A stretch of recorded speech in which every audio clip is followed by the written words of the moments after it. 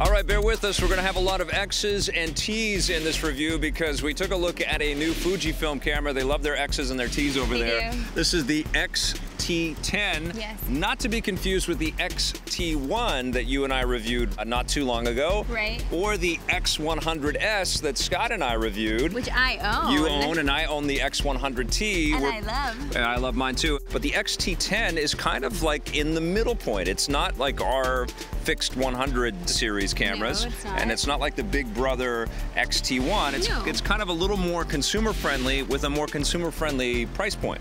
Well, yes. I mean, it's still expensive, of It is, course, yeah. but this is a very high-end camera. This one is much more compact, but what I love about it is the fact that it is so compact. Yeah. What's even better with this new XT10 is the autofocus lock. Yeah, so you're gonna get much better shots where subjects are Yeah. moving, like uh, a very fast-moving kid, for example. And then you can also pick spot focusing, and you can go a little bit wider if you've got a group shot or you're trying to get a, a lot of stuff in focus. Because there's a lot of function buttons here. Yes, and, but suffice to say, focusing, which has been a general concern with a lot of cameras, but I think with the X line in the Fujifilm, I mean, it's been something that you've had to kind of fiddle with, whether you go with the fixed lens like we have or you go with XT1. I think this is some of the strongest focusing firmware that we've seen so far. Now, the good news is that Fuji is going to start to filter that firmware probably to the other cameras in their X line, which is great news for existing users like us. Yeah. But you're right, though. Once you start fiddling with some of these interchangeable lenses and you start getting some great zooms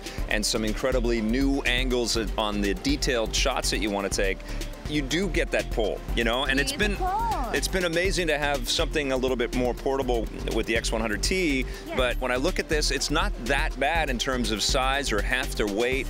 And the lens flexibility is pretty damn incredible. That's the only thing though, it's the lenses. When you have a camera like this and you know that you can change the lens, that's exactly what I'm gonna wanna do. Also invest in that lens as well so it no longer Suddenly, becomes portable. a backpack is what It- you're carrying yeah, around I know, everywhere, exactly. right? Everything is programmable. There's lots of cheesy but still fun, like toy camera effects and things like that, and the advanced filters. oh, you love that. I do like to play around with all that stuff. What are you going to give the XT10? it gets an eight. Gets an 8.5 from me.